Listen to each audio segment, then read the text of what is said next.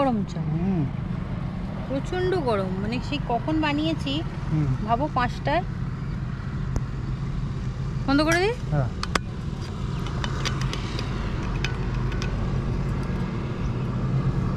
এবার চা বানিয়ে ছড়ি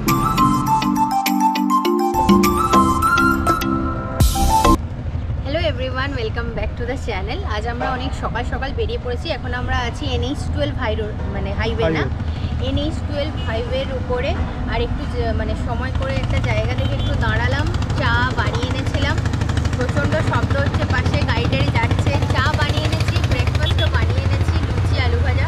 কিন্তু চাটা দিয়ে এখন স্টার্ট করলাম, এখন বাজে মোটামুটি সাড়ে আটটা মতো।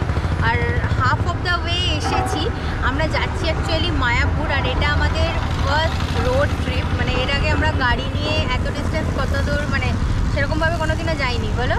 আমরা এই ফার্স্ট রোড ট্রিপ এটা আমাদের বেশ ভালো লাগল। অনেকটা রাস্তা এসেছি, আর এইভাবে রাস্তার ধারে গাড়ি থেকে বেরিয়ে বাড়িতে কে বানিয়ে আনা চা খাচ্ছি আরও বেশি ভালো লাগছে। আর আজকে ওয়েদারটা কিন্তু খুব খারাপ, খুব মানে এত রোদ, তাকানো যাচ্ছে না। আর এখানে পাশে দেখো, ওখানে ওইদিকে একটু দেখাও কাশফুলও হয়ে আছে এখনও অবধি দূরে অল্প অল্প দেখা যাবে কাশফুলও হয়ে আছে তো চাটা খেয়ে দেখি যদি ইচ্ছা করে একটু ব্রেকফাস্ট করব তারপরে আবার বাকি জার্নিটা শুরু করব তোমাদের সঙ্গে পুরো জার্নিটা শেয়ার করব। মায়াপুরে গিয়ে থাকব, ঘুরবো, সবটাই তোমাদের সঙ্গে শেয়ার করব। আশা করছি ভালো লাগবে।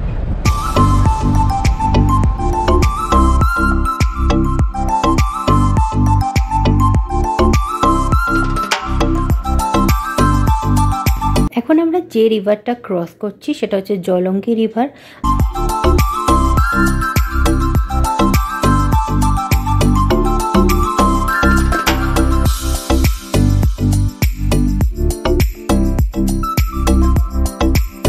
আমরা এখন মায়াপুরে ঢুকে পড়েছি, এখান থেকে by car more than half an hour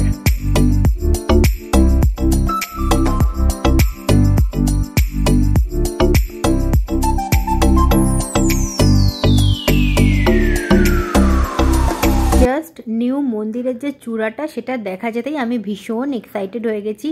R just কিছুক্ষণের মধ্যেই ঢুকে পড়ব মায়াপুর ইস্কনে।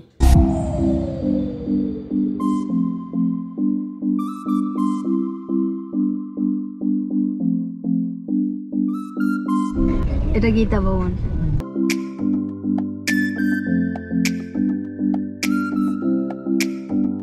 যেহেতু আমরা গাড়ি নিয়ে এসেছি সেহেতু গীতা ভবন ভামসী ভবন সমস্ত ভবন ক্রস করে এখন আমরা আসছি গদা ভবনের দিকে।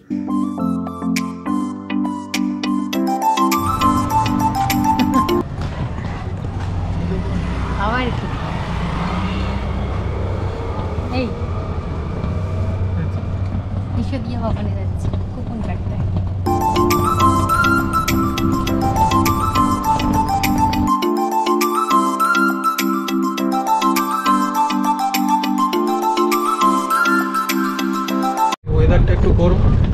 তবু হাওয়া দিচ্ছে দেখো এখন। হ্যাঁ, ভালো টিকিট দেখো আমরা টিকিট কাটলাম।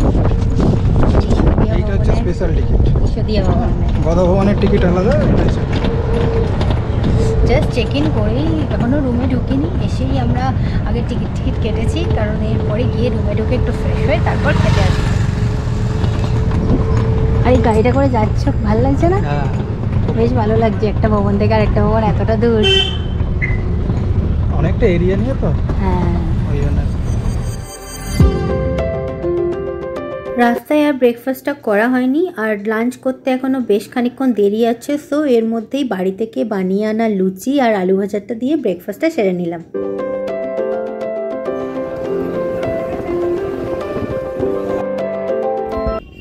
বাজে হচ্ছে ওয়ান থার্টি পিএম তো আমরা এই সময়তে এসে গেছি ঈশ্বরদিয়া ভবনে। এখানে খুব একটা ভিড় বা লাইন হয় না। জাস্ট সামান্যই এসেছি একটু দাঁড়িয়েছি আর বসে পড়েছি ভোগ খেতে। এটাকে এখানে বলা হয় থালি প্রসাদম।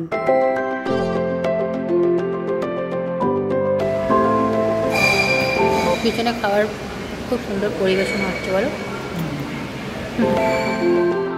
গদা ভবনের যে ফ্লোরে আমরা ছিলাম, সেই ফ্লোরের ছাদ থেকে খুব সুন্দরভাবে মায়াপুরে ইস্কনের এই নিউ মন্দিরটা কিন্তু ভালোভাবে দেখা যায়। খেয়ে দিয়ে চলে এলাম। একটু ঘুরতে ঘুরতে। সন্ধ্যাবেলায় আবার সন্ধ্যা আরতি দেখতে যাব, তো সেজন্য এখন একটু রেস্ট নেব। প্রচণ্ড গরম আজকে। আমরা সন্ধ্যা আরতি দেখার জন্য বেরিয়ে পড়েছি। সন্ধ্যা আরতি হয় ছটা থেকে, আর এখানে কিন্তু ভেতরে ক্যামেরা বা মোবাইল কোনো কিছুই অ্যালাউড নেই, সেজন্য ছবি বা ভিডিও করা কোনোটাই পসিবল না। আর এই সন্ধ্যা আরতি হয় কিন্তু চন্দ্রোদয় মন্দির, যেটা মেন মন্দির সেখানে।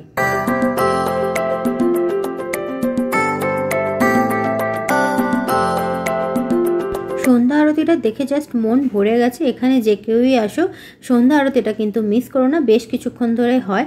আর তারপরে আমরা ডিনার করতে চলে এসেছিলাম, তোমাদের সঙ্গে একটু মেনুটাও শেয়ার করে দিলাম। আমরা অর্ডার করেছিলাম পনির পকোড়া, পনির পরোটা, আর শেষে হচ্ছে ডাবল চকলেট কর্নেটো এখানে কিন্তু সব কিছুই পাওয়া যাচ্ছে গদা ভবনের আশেপাশে তোমরা এই সমস্ত গিফট আইটেমসের দোকানও পেয়ে যাবে, যেখানে খুব সুন্দরভাবে বাড়ির জন্য, সবার জন্য, নিজের জন্য অনেক কিছু নিতে পারো।